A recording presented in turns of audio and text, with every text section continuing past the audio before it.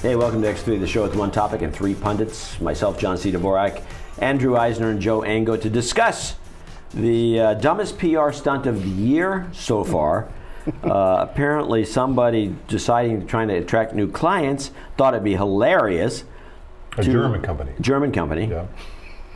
making it even weirder. Ma- they decided to glue some hard drives to alarm clocks and send them to companies with a note reading, "Your time is running out." Let's send them a bomb. They look like little bombs. So it looks like a bomb, Time bomb, and it goes around, and it, it backfired. Hello. well, this reminds me of uh, there was a couple years ago when they were promoting the new Aqua Teen movie, where they uh, it was in Boston. Remember they put up these little Yeah. LED signs of the Mooninites, and then the SWAT team came in, the bomb squad Right. and everything, because they thought it was a bomb. Just reminds me of that. Actually, it's ridiculous. I thi- this was worse. Uh, I remember one. This was in the late '80s, I believe. There was this guy. I still see him once in a while. He got fired for this. Uh, he's a black PR guy, hilarious guy, very funny guy, good sense of humor. And I, could- I right- every time I see him, I don't remember his name. I just call him Bullet Boy Yeah. because he is the one who sent bullets Oh, good. out to the media. Yeah. With, but I, when I got mine, you get a pack of bullets, and it was like just loose bullets in an envelope. Yeah. That's probably illegal now, right? But It probably Yeah. is. And it may have been casings, Yeah, okay. whatever the case was. It was a bunch of them, and, and there was like a, some kind of ha- screw, scrawled note as though it was some sort of a Yeah. message. But it was to p- p- promote some game. yeah. so, so apparently, I, what my understanding was they actually shut down the McGraw Hill building in New York and evacuated the place Wow. because of these anthrax. because of these bullet shells. Yeah.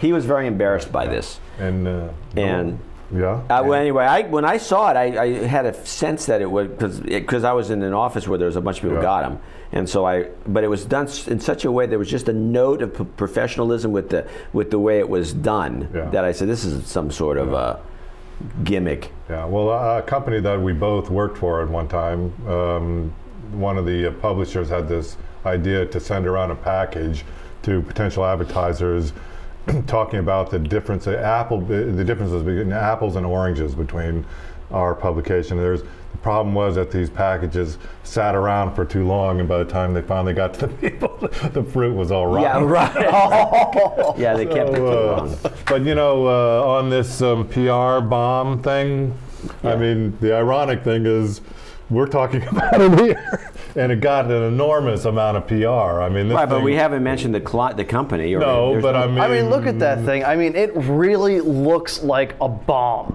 That is just. But what this company is, is, in fact, getting a ton of PR. It was a dumb thing, and it was Yeah, well- to- totally, you know, sort of in bad taste and bad judgment. But still, Well, maybe. we're talking about it. Okay. Well, whatever the case is, I would It not. was on your blog. I wouldn't- you gave them coverage. But but did we mention their name? no, we never mentioned their I think name. you so did, right? on the blog, it mentions Convar Uh, Deutschland. See, there you go. So Convar, I guess. I Eh. guess hey, in the end, I don't. We have no German listeners, so I'm not, they're giving them zero publicity. There you so, go. But anyway, I would just caution right, people out there to be careful in the future when you do these things. You've been watching X3.